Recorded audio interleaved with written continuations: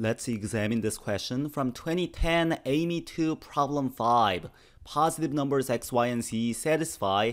X times y times z is 10 to the 81st power. And log base 10 of x times log base 10 of yz plus log base 10 of y times log base 10 of z is 468 and we wish to find square root of log base 10 of x squared plus log base 10 of y squared plus log base 10 of z squared and to begin with, I see a lot of expressions with log base 10. We have log base 10 of x right here and right here.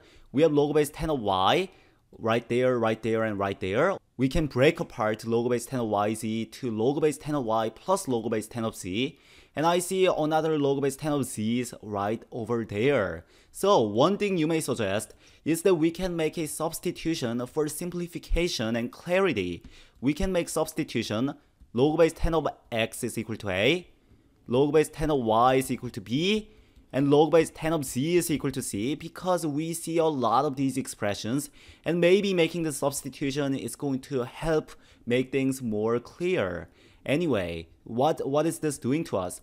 Well, that's telling us x is equal to 10 to the a's power, y is equal to 10 to the b's power, and z is equal to 10 to the c power, just writing these in exponential form. So we know x times y times z, or 10 to the a times 10 to the b times 10 to the c is 10 to the 81, or 10 to the a plus b plus c power is 10 to the 81st power. That's already telling us that a plus b plus c is equal to 81. This thing seems more simplified than x times y times z being 10 to the 81st power. Anyway, let's continue on. How about this second constraint? We have log base 10 of x, which is a, times log base 10 of yz. And we know log base 10 of yz is log base 10 of y plus log base 10 of z, which is equal to b plus c, plus log base 10 of y times log base 10 of z, which is bc. And we know this is ab plus ac plus bc being equal to 468. So we, we know these two things. We know a plus b plus c is 81, and we know ab plus ac plus bc is 468. And we wish to find, we wish to find the square root, we wish to find square root of log base 10 of x, or a squared, plus b squared plus c squared. So, really, we only have to find a squared plus b squared plus c squared. Once we find this, we can simply take the square root of the numerical value and we should be done. So we have these three things to work with.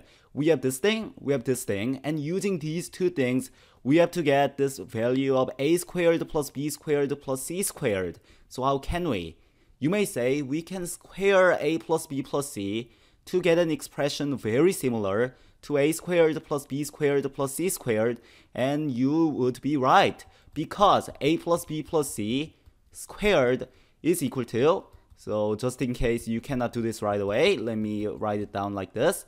We know we can multiply a and a to get a squared. We can multiply b and b to get b squared. We can multiply c and c to get c squared, but we can get other terms. We can multiply a to things other than a to get plus ab and plus ac. And we can multiply b to things other than b to get ba and bc, just multiplying it like this, to get ba or ab and bc. And we can multiply c to things other than c to get ca and cb. So we can also get ca, so ca and cb.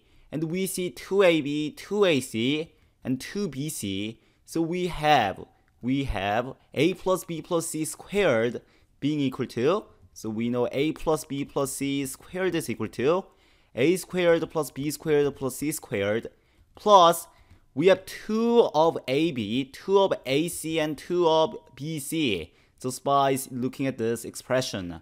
So we we know, we already know the value of A plus B plus C. This thing is 81. We want to find A squared plus B squared plus C squared. And we already know AB plus AC plus BC, that's 468. So we can simply solve this equation for a squared plus b squared plus c squared and we should be done. So let's do so. So we know a squared plus b squared plus c squared. Let me just write it like this. 81 squared is equal to the expression we want to find plus 2 times 468. So a squared plus b squared plus c squared is 81 squared minus 2 times 468, which is equal to 16, 65, 61, I believe, minus 936. And this thing is equal to 5, 6, 2, 5, 56, 25. So we have to find the square root of 5625 because a squared plus b squared plus c squared is 5625 and this thing is simply 75. If you're wondering how I got this so quickly, you may you may know this tactic of squaring a number ending with 5. For example, when you're squaring 85 squared, you, uh, you add 1 to the tens digit, so you want to add 1 to this to get 9. You multiply these two together to get 72, and you end with 5 squared or 25. So 85 squared is 7225, and 65 squared is going to be 6 plus 1 is 7. Multiply these two to get 42, and end with 25. So in my case, I saw 25 and I realized 56 was eight, 7 times 8, so that allowed me to quickly deduce that square root of 5625 is 75. So the answer to this to this question is 75 and since, since it's AIME question, we want to write it as 075.